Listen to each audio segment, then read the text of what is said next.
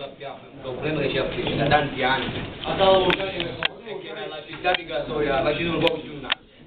Non è stato mai realizzato niente per il software di Casoia. Noi abbiamo formato questo movimento di lotta proprio per combattere queste eh, angherie che si fanno da tanti anni in Casoia. Le vecchie classi dirigenti politiche ci hanno fatto sempre delle promesse, delle promesse e delle promesse, ma ci hanno fatto diventare gli emarginati della società. E questo non va bene. Non va bene perché uh, oltre a, a emarginare noi hanno emarginato anche il futuro dei nostri figli. E i nostri figli non devono essere secondi a nessuno. E nessuno si può permettere eh, di passare avanti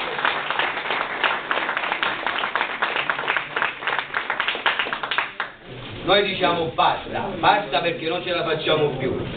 Vogliamo combattere queste angherie dei politici. Negli ultimi tempi questi politici cosa hanno fatto? Hanno fatto in modo che eh, i disoccupati sono stati eh, eliminati proprio cioè dal circuito eh, dei diritti dei lavoratori.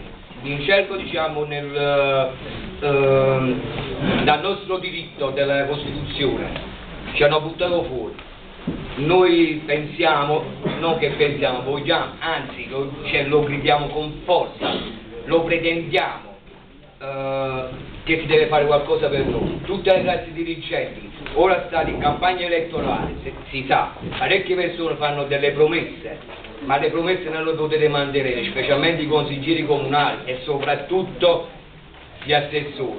Penso che un consigliere comunale cioè, io penso che va a fare il consigliere comunale solo per ricimolare qualcosa per lo stipendio.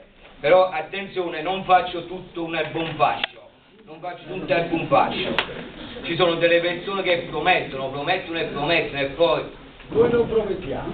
sì, sono d'accordo. Però io non, fa- allora, io non faccio distinzione di niente, i politici per me sono tutti uguali, tutti uguali, io non faccio distinzione di niente, perché io da quando sono nato e fino adesso, anche i miei amici qua, i disoccupati, non abbiamo mai avuto il piacere di vedere un politico che veramente si è impegnato per i disoccupati. Vanno tutti lì su quella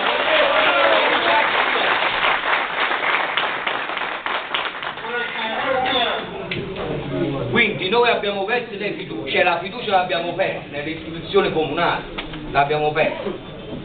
Lo stiamo combattendo questa lotta. Non vi daremo pace né a voi né agli altri, non, avranno pace perché noi gli staremo sempre con il fiato sul collo. Qualsiasi parte si farà un comizio o qualche cosa, noi saremo là. Perché nel momento in cui chi è e vincerà le elezioni che andranno sul comune devono avere il problema, deve essere un'ossessione, l'ossessione dei disoccupati di Casoli, deve essere in primis dei progetti di Casoli che devono accadere su Casoli.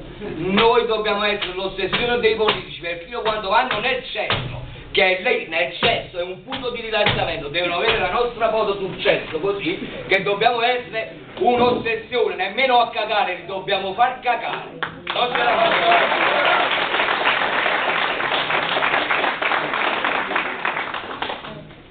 Ecco, io se li faccio vedere, vedete le facce dei disoccupati che stanno qua, ognuno di loro c'ha un problema. Si sa, il lavoro porta tanti problemi. La prima cosa, cosa porta?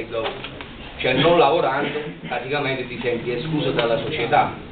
Ci sono i problemi perché il lavoro porta lo studio, la cultura, tutte queste belle cose. Però noi qua a Casoria abbiamo combattuto fino a un certo punto, in un certo modo non ce l'abbiamo fatto più. Adesso stiamo iniziando a combattere in un altro modo, con la stessa arma dei politici. Noi non, cioè, noi non vogliamo fare nessuno scontro mm, volgare o fisico o verbale, però siamo molto incazzati, siamo molto arrabbiati non ce la facciamo più.